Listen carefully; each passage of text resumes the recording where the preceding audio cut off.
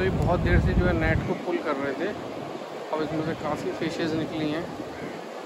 तो ये लोगों के लिए एक अट्रैक्शन बना ओ माय गॉड एक स्नैक मिला। oh, oh snack